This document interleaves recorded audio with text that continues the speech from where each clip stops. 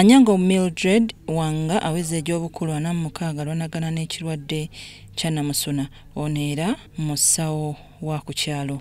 Wanga anyonyola nti ekirwadde kyekimu kyatamulirwanwa we gye buvuddeko era ng'asaba minisitule y'ebyobulamu eveeyo mu bwangu kwatizeeko ng'ekiwundu tekinnasamba ddagala. Mangeni benard ne nekesa faustin bazadde ba mwana aweza emyezi mukaaga nabo bagamba nti obulwadde bwe bumu bubasuza bakukunadde. Museruha khumubiri ndamwirayo kula mukliniki vamutaburaho musala mvamuvesa ndikuovaha ndio mvahanga lakini nga omviri kusimuchuna sa sanya patrick.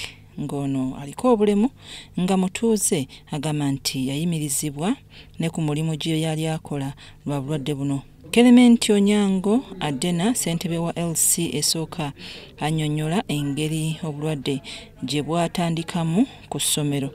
Bano bagamba nti amaka agasoba mu kyenda ge galimu obulwadde ozi makumi tusende kibiri kiri nobulwaye buno ende biye kitu wange mu lukongo muno wese mulwayo ab'amasinzizo batandise okuteekawo enkola ez'okukuuma obuyonjo. Dr tusime emmanuel ow'amasafu general hospital agambye nti buli mulwadde agendayo bamugjako sampulo